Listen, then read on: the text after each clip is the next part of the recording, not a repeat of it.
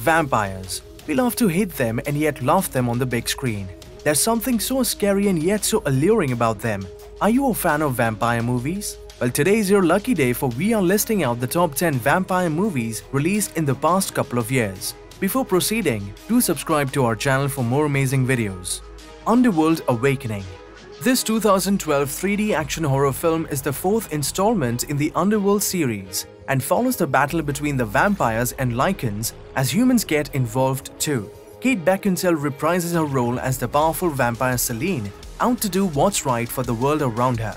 Have you seen the first three Underworld films? Let us know which was your favorite in the comments below. Daybreakers Okay, this one goes back 10 years, but it's a film that's worth a watch for both sci-fi and horror fans.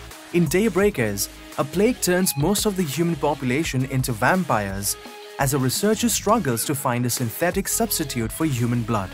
The star cast of the film includes Ethan Hawke, Sam Neill, and Willem Dafoe, who all deliver stellar performances. Underworld Blood Wars Underworld is one film that truly managed to capture the battle between werewolves and vampires at its gory best. So the fifth and till date final installment of the series had to make it to this list. In Blood Wars, Selene is in hiding from both the vampires and the Lycans who are out to get and kill her. With heart-stopping action, Kate Beckinsale once again rules the screen in this 2016 vampire film that is a must-watch for fans of the genre. Fright Night this 2011 remake of the original Fright Night that released back in 1985 truly brought old-school vampire lore to present times. Fright Night follows the story of a teenager who has to deal with the perils of living next door to a real-life vampire. Starring Colin Farrell in the lead, this is one flick that makes for a light-hearted watch, though not without its jump scares. Have you guys seen the original Fright Night from 1985? Let us know in the comments. Only Lovers Left Alive do you like vampire romance stories? If yes, then this 2013 film is guaranteed to become a favorite in your movie collection. Starring Tilda Swinton and Tom Hiddleston in lead roles, Only Lovers Left Alive follows the tale of love and loathing between two vampires who have been married for centuries.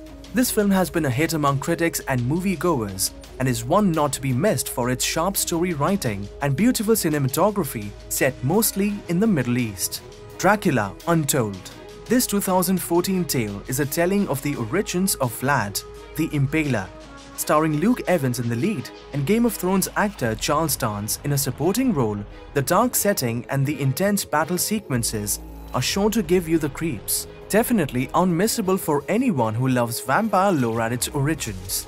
Byzantium this 2012 movie deviates sharply from the set image of rich vampires as it shows the blood-sucking creatures to be hungry and struggling for survival in conditions of poverty. Byzantium stars Gemma Arterton and Saoirse Ronan in their lead roles as two women who mysteriously seek cover at a coastal town shelter with their hidden origins as two vampires. Hmm, definitely an intriguing premise. What do you think? Dark Shadows This 2012 Tim Burton hit film stars his favorite hero, Johnny Depp, in the lead. Dark Shadows follows the story of a man who offended a powerful witch and was turned into a vampire as a result. He awakens in the modern world even as the witch is still alive and has to come to terms with what happens to him even as he seeks revenge. Dark Shadows is dark and funny and Burton at his gothic best. Which is your favorite Tim Burton film? Let us know in the comments. Abraham Lincoln Vampire Hunter this 2012 horror film was a superb mix of history and fantasy, as it portrayed former US President Abraham Lincoln as having a secret identity of a vampire hunter.